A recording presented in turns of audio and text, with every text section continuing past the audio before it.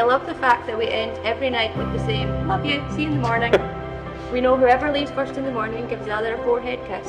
And it's an unwritten rule that the first thing you do when you get home is a backwards hug when I'm sitting on my work chair.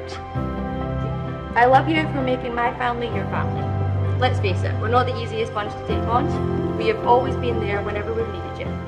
You're the best uncle, uncle to all these kids.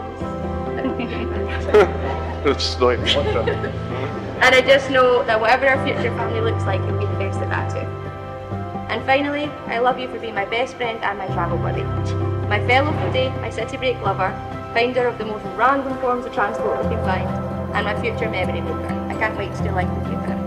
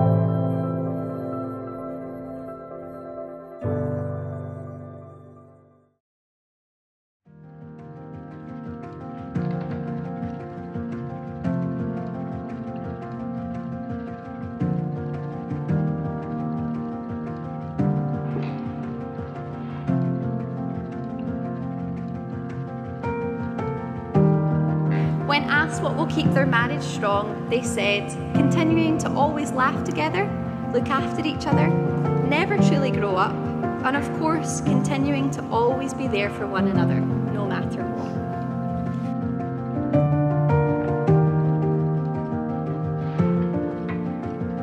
Jackie and Faye, a match made in heaven, finally choosing to wed.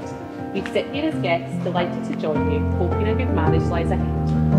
Many an adventure you've shared today, like bagging a Munro or two, but none of that will compare to today, the day you say.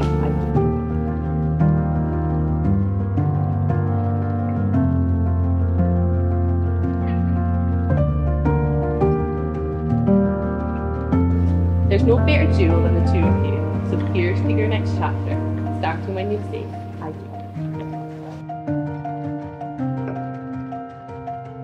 It is now my very pleasant duty to pronounce you husband and wife. Congratulations.